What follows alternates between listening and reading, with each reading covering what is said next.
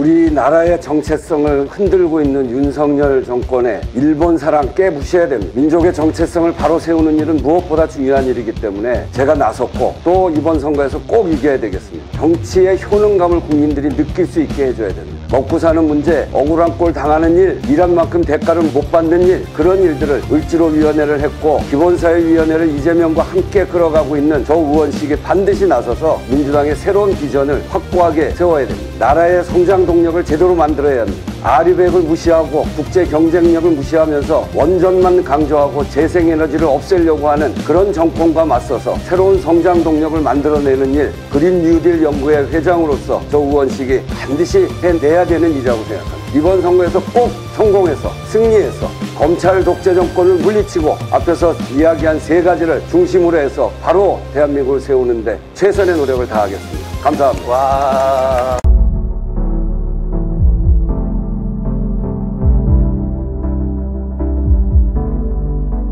신대한의 예. 독립군 백만 용사야. 하! 그 선거운동을 한참 바쁘실 네, 텐데 승일이냐 승일이냐 예, 이번 총선은 한일전이다 네. 이 취지에 이런 프로그램은 나가야 된다라고 해서 네. 시간 쪽에서 나와주셨어요 아, 감사드리고요 일단 선거 상황부터 좀 말씀 여쭤볼게요 네네. 원래 저 노원 을인 줄 알았는데 갑부로 출마하신 데 깜짝 놀랐어요 어떻게 네. 된 겁니까? 지금도 제가 쓰고 있는 게 노원을 국회의원, 노원갑 예비 후보 이렇게 쓰고 있어요. 노원구 인구가 많이 줄었어요. 예, 예. 저는 63만 넘을 때 국회의원이 셋이 됐는데 와, 작년 연말로 49만 8천이 됐어요. 아 49만 8천 예, 노원이라는 데가 이제 어, 80년대에 집단적으로 만든 중소형 아파트. 음. 제- 그 아시아에서 제일 크다는 거 아니에요? 그게? 아 그래요 그러니까 그 아파트가 35년이 다 넘어서 40년을 육박하고 있으니까 예. 주차 대수도 잘 안 맞고 아이고. 수돗물, 녹물 나오는 데도 있고 그래가지고 예.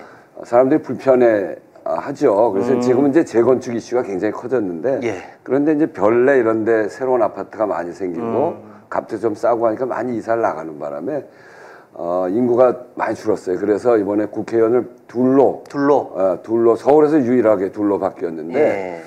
그러면서 제 지역구가 하계 중계동 상계동 일부였는데 아. 반은 병구랑 붙어서 을이 됐고 을이 됐고 하계 중계동은 저 월계 공릉하고 합쳐가지고 갑이, 갑이 돼서 됐고. 네, 그래서 제가 갑의 어, 후보로 지금 나가고 있는 거예요. 예. 그럼 민심 분위기 먼저 여쭤볼게요. 노원 갑은 을보다 좀 진보세가 조금 약하다 뭐 이런 이야기도 있더라고요. 근데 네, 어, 어, 후보자께서 직접 느끼실 때 지금 민심 어떻습니까?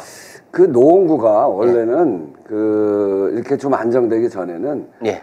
어, 여야가 자꾸 바뀌던 지역이에요. 아, 어, 그러던 지역인데 지금은 이제 그래도 상당히 좀 안정돼 있는 편이긴 해요. 근데 갑구는 월계 공릉동은 지난 지방선거 때 시의원 두 석을 다 뺏겼어요. 아이고. 예, 그리고 구의원도 한 석을 잃었고 그래서 어, 갑구 월계 공릉동 지역은 그렇게 편안한 선거구는 아닙니다. 음. 그렇지만 이제 뭐 열심히 뛰고 있고요. 예. 어, 전, 저는 이제 한번 시작하면 끝장을 보는. 사람이니까.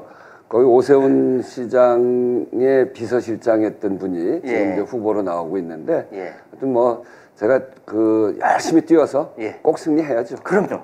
승리해야죠. 그리고 얼마 전에 그 이재명 대표님이 이번 총선은 신한일전이다.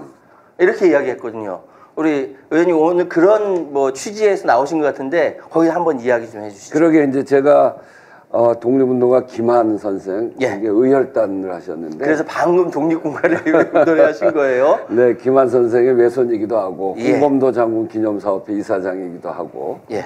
또 후쿠시마 원전 오염수 방류 저지 대책위원장을 맡기도 아, 예. 하고 그래서 일본하고 관련돼 있는 부분에서 일을 많이 하고 있는데 예. 저는 정말 홍범도 장군 흉상을 이전한다거나 아. 또 후쿠시마에서 원전 오염수를 일본이 흘리겠다는데 그걸 그대로 방치하고 예. 아니면 뒤에서 박수 치는 것 같은 모습까지 보여주는 예.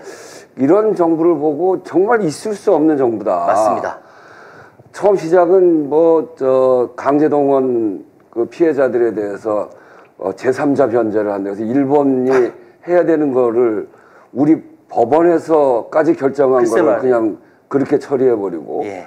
또 독도 문제에 대해서도 아주 이상한 태도를 취하지 않습니까? 예, 맞아요. 독도가 분쟁 지역이라고 하지 않나?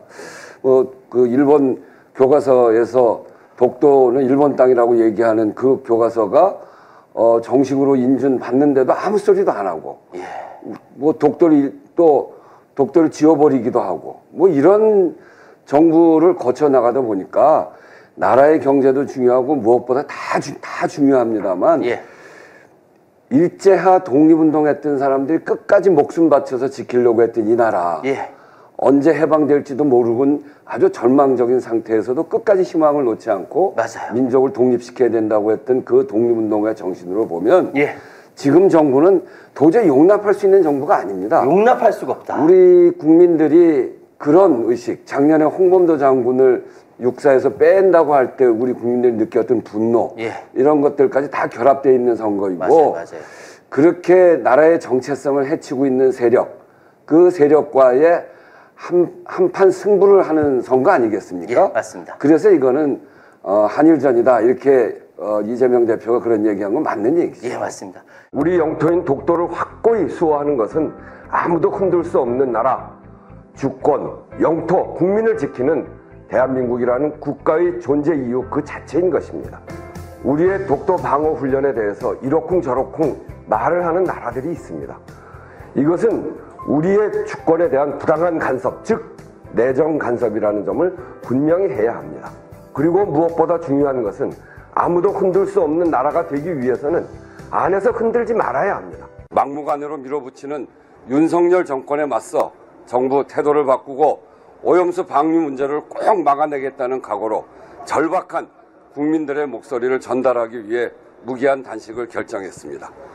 원전 오염수를 방류하기 시작하면 30년은 시작에 불과합니다. 폐로 작업이 끝나지 않은 이상 오염수는 계속해서 생기고 50년이 될지 100년이 될지 언제까지 배출할지 알 수도 없고 돌이킬 수도 없는 일입니다. 과학을 모르고 괴담에 휘둘리는 미개한 국민 탓이라고 하지 마십시오. 후쿠시마 오염수가 10년, 20년 후 우리 자손들에게 어떤 영향을 미칠지 확실하게 말할 수 있습니까? 얼마 전 후쿠시마 원전 앞바다에서 기준치 180배가 넘는 세슘 우럭이 발견됐다고 합니다. 2011년 후쿠시마 원전 폭발 당시 과학자들이 우려했던 것이 현실로 나타난 것입니다. 그런데도 국민의힘은 방사능 오염수가 우리 바다에 올 가능성도 없고 우리 수산물이 방사능에 오염될 일도 절대로 없다고 합니다. 무엇이 괴담입니까? 그렇게 안전하다고 확신한다면 일본에서 쓰면 되지 왜 공공재인 태평양 바다 가운데 투기하겠습니까? 후쿠시마 원전 오염수 방류 저지 요구는 대한민국 영토를 수호하고 국제적 범죄 행위나 다름없는 일본의 결정을 막아내라는 대한민국 국민 모두의 준엄한 명령입니다. 순국 선열과 대한민국 국민이 함께 지켜온 우리 바다가 핵 폐기물 투기장이 되는 것을 반드시 막아냅시다.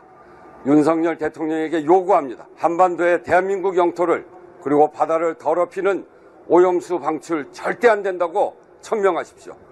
안전성 검증 없는 해양 투기 절대로 반대한다고 얘기하십시오. 대한민국 대통령은 대한민국 국민의 명령. 우리나라의 정체성을 흔들고 있는 윤석열 정권에 일본 사랑 깨부셔야 됩니다. 민족의 정체성을 바로 세우는 일은 무엇보다 중요한 일이기 때문에 어, 제가 나섰고 또 이번 선거에서 꼭 이겨야 되겠습니다. 두 번째는 정치의 효능감을 국민들이 느낄 수 있게 해줘야 됩니다. 먹고 사는 문제, 억울한 꼴 당하는 일, 일한 만큼 대가를 못, 못 받는 일, 그런 일들을 을지로위원회를 했고 기본사회위원회를 이재명과 함께 끌어가고 있는 저 의원식이 반드시 나서서 민주당의 새로운 비전을 확고하게 세워야 됩니다. 세 번째는 나라의 성장 동력을 제대로 만들어야 합니다. 아리백을 무시하고 국제 경쟁력을 무시하면서 원전만 강조하고 재생에너지를 없애려고 하는 그런 정권과 맞서서 새로운 성장 동력을 만들어내는 일, 그린 뉴딜 연구회 회장으로서 저 의원식이 반드시 해내야 되는 일이라고 생각합니다.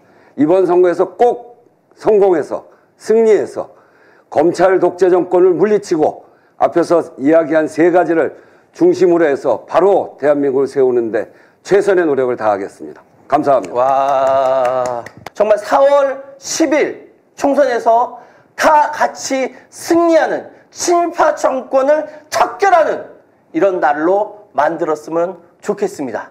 여러분 감사합니다. 의원님 같이 인사하시죠. 감사합니다. 척결하자. 척결하자. 응? 맞습니다. 네.